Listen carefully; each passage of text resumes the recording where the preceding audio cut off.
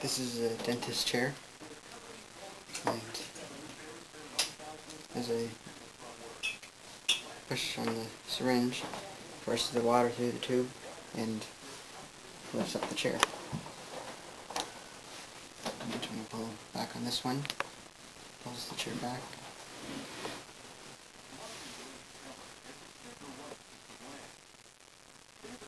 Does it go down?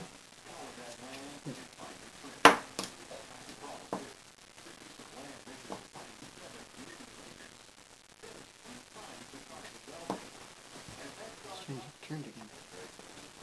So how did you come up with this design?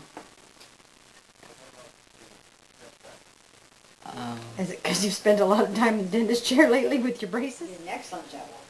You can toss your patient right out of the chair if you want.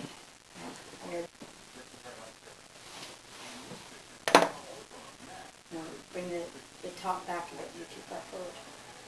no. When you push it so far, it's forcing the syringe to tip. Right.